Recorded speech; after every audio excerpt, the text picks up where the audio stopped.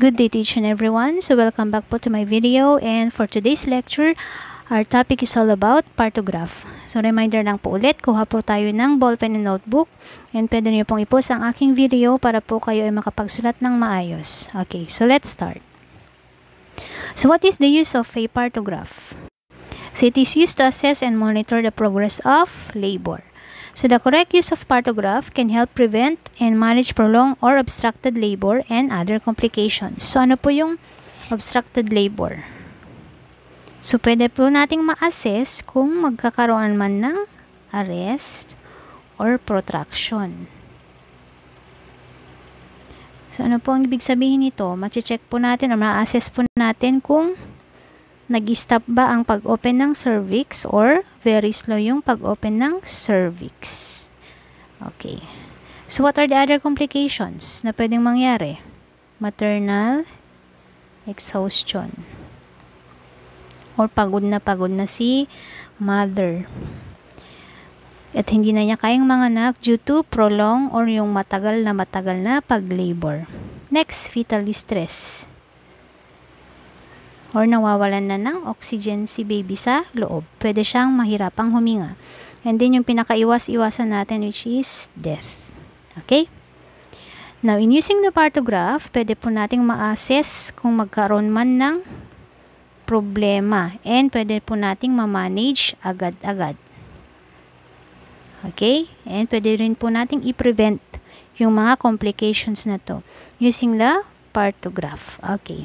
Next, kailan po tayo mag-start uh, na mag-partograph? So, tagalang po tayo magpa-partograph during the start of true labor or 4cm na yung cervix ni mother. Saka lang tayo magpa-partograph pag 4cm na yung cervix ni mother. Okay. So, paano po ba ang paggamit ng partograph? So, this is what you call the simplified partograph. Simplified partograph. Ito po ang ginagamit sa mga hospitals and other institutions just like the RHU. So, ano po yung check natin? So, check natin dito yung vaginal bleeding, amniotic fluid, contractions in 10 minutes, fetal heart rate, urine voided, yung temp ni mother, pulse rate ni mother, blood pressure ni mother, cervical dilation, delivery of placenta and oxytocin yung kailan natin ibinibigay yung oxytocin. Okay, so isa-isahin po natin sila. Okay, so let's start with vaginal bleeding. So, ang i-discuss ko po ngayon is kung ano yung isusulat natin sa partograph. Okay. Pag nakita nyo po na may, uh, wala pong lumalabas na dugo sa perta ni mother, ang isulat po natin is 0. Kapag naman po merong konti lang, yung konting-konti lang, lagay po natin is isang plus sign. Kapag po medyo marami or yung severe bleeding po, dalawang plus sign ang isulat. Okay? Next, amniotic fluid. Kapag po ang amniotic fluid or bag of water, yung bow natin is uh, intact, so ano po bang mararamdaman natin kapag intact? Kapag po kayo ay nag-IE, ang mararamdaman nyo po sa bag of water, yung kuha po kayo ng balloon, uh, oh, balloon and then lagyan nyo po ng tubig or water. Ganun po ang ma-feel nyo kapag intact pa yung bag of water. So kapag intact pa po siya, I, letter I po ang isusulat. Now, kapag naman po leaking bow na, or meron nang lumalabas na uh, amniotic fluid, tingnan nyo lang po yung kulay niya, yung color ng amniotic fluid. Kapag po siya ay clear or normal in, normal in color, C po ang lalagay natin, meaning clear. Kapag naman po greenish or dark, M po ang isulat natin, meaning meconium stain na po siya. Or nakatain na si baby. Kapag po ang lumalabas ay may, uh, dark na siya or meconium stain na siya, paki uh, refer na po sa doctor or yung nurse on duty. Okay? Next, contractions in 10 minutes.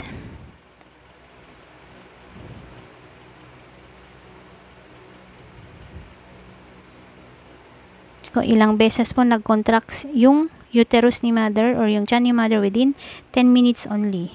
So, ilan po ang, kung ilan po yung na bilang ninyo, yun po ang isulat natin. For example, dalawa po ang nabilang, yung sulat nyo po sa partograph is 2. So, please, please be honest po. Kung ilan lang po yung nabilang, yun lang po ang isusulat. Okay. Next, fetal heart rate. So, alam na po natin kung paano ang mag-check ng fetal heart rate. So, ang gagamitin mo natin is stethoscope or yung Doppler. Okay? Now, ang normal po natin is 122, 160 beats per minute. Sorry. Beats per minute. Depende po kung ilan po yung uh, nakuha ninyong uh, heart rate ni ng bata. Okay? The next, urine voided.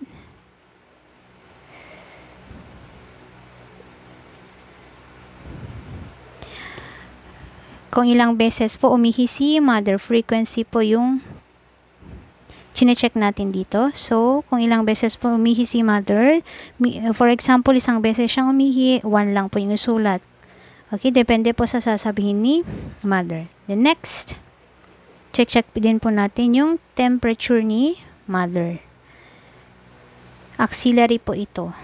Meaning sa kilikili ni mother. So, depende po sa makuha ng uh, digital thermometer ninyo. For example, 36.5 ang nakuha niya yun po ang isulat. Next, pulse rate ni mother. So, ang normal po is 62, 100 beats per minute. Pang adult po ito.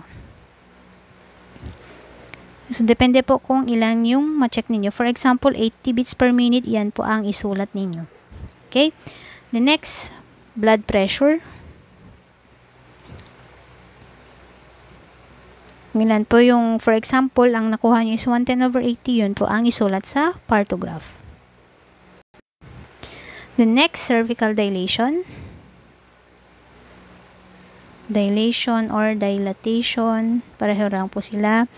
Kung ilan po yung, ilang cm na po ang cervix ni mother. Okay, ang sulat ninyo po is 4 to 10 cm or depende po kung ilang cm ang na-check nyo. For example, 5 cm siya, yan po ang isulat sa ating partograph. Okay.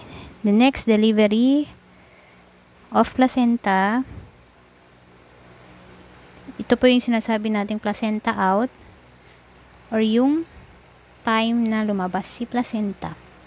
And then sa oxytocin naman po, kung kailan nyo ibibigay yung time. So usually po, iti, uh, binibigay po ang oxytocin within 1 to 2 minutes after the delivery of the placenta. Okay. So, next. So, ito po yung i-check natin. Kapag, kapag meron po mga abnormality dito, i-refer lang po agad-agad sa nurse on duty or sa physician or doctor. Okay. Next. So, ito na po. Start na po tayo i-lecture ang partograph. Okay. So, ang isusulat po ninyo dito is yung data ng pasyente. Data ng pasyente, yung name, um, address, yung age. Depende na lang po sa kung anong nakasulat or ano ang nakaprint sa partograph ng hospital or yung institution. Okay, so makikita nyo po, meron po siyang kulay. So kapag po ang green, ang meaning po nito is active line. Active meaning normal po yung progress of labor natin. Now, kapag po ang linya natin is sumabot sa yellow, this is what you call the alert line. Didiscuss po natin mamaya kung anong gagawin kapag umabot na po sa alert line and dito po yung action line. Yan. Okay. Now, ang una-una po natin gagawin upon admission is, of course, ang pag-IE. Now, for example po, eh, nag-IE kayo, kapag po nag-start kayo nag-plot dito sa ating partograph, dito lang po sa mismong linya na ito. Dito lang po, wag po dito. Hindi po dito, wrong po ito. Basta dito lang po sa linyang ito. Okay? And kapag po tayo nag-plot, ang gagamitin po natin is X. Hindi po asterisk. Wrong po iyan. X po ang ating gagamitin. Okay? Now, Okay, so kapag po ang ating uh, pasyente ay 4cm na siya, dito po tayo natin ilalagay. Then kapag 5cm naman upon admission lang po ito, 5, 6, 7, 8, 9, 10. Dito po, pag nag-start kayong nagpa-plot sa partograph, dito lang po sa mismong linya ito. Regardless man po kung ilang cm na yung cervix ni mother. Okay. Now, uh, after kayo nag-plot sa partograph,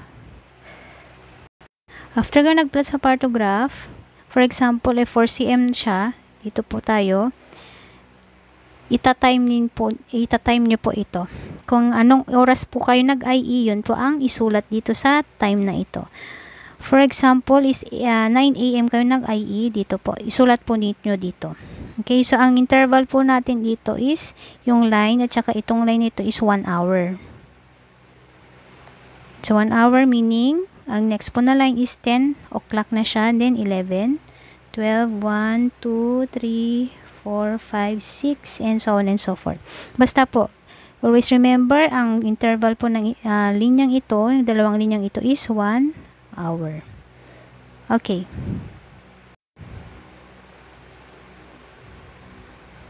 Okay, after po nating i-plot yung ating uh, partograph, and then uh, sulat po natin din po natin yung time, start na po tayong mag-check ng mga datang ito. Ayan. So, saan po natin ilal ay susulat? Dito po mismo sa line na ito. Hindi po dito sa gitna. Wrong po yun. Okay? Hindi po dito dito po mismo sa linyang ito kasi dito po kayo nag-IE and yung time ninyo is dito, okay? Dito po sa mismong linyang ito. Okay. So, magbibigay po ako ng example. Ito na. So, Mrs. X was admitted in labor at 8 a.m. So, isa-isahin po natin ang ating data. So, ang time niya upon admission is 8 a.m. On abdominal examination, the contractions were 2 in 10 minutes. So, ilang beses siyang nag-contract? Twice po siya. So, contractions in 10 minutes. 2. Okay. And the fetal heart rate was 130 beats per minute. Uh, FHR, 130 beats per minute. Then, on vaginal examination, upon IE po ito, the cervix was 4 cm dilated. So, yung cervix niya is 4 cm na siya. Then, membranes were intact. So, meaning, ang amniotic fluid natin is intact pa siya. So, ang sulat natin is letter I.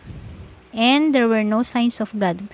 Meaning, wala siyang vaginal bleeding. So, zero po ang isulat natin. And then, her blood pressure was 110 beats per minute. Yung BP niya is 110 over 80, 110 over 80 millimeter per mercury. And then, ang uh, pulse rate niya is 80. Pulse rate is 80 beats per minute. And then, ang temperature niya is 36.6.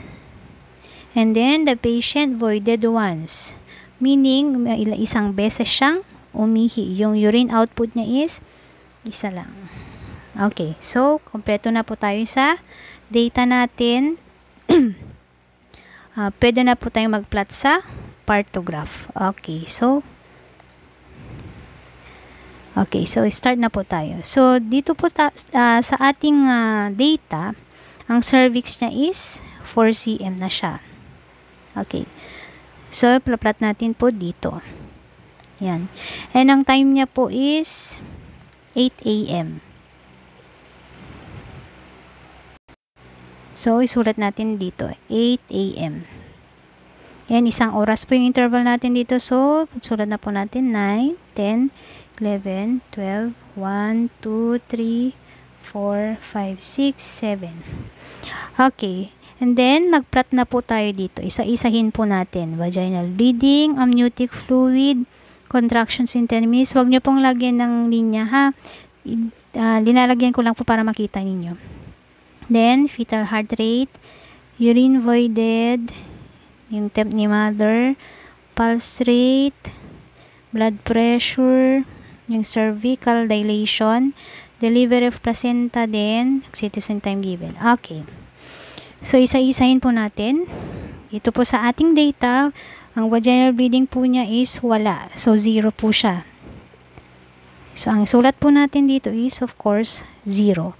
Within this line po. Okay? Next, amniotic fluid. Intact pa po siya. So, sulat po natin is letter I.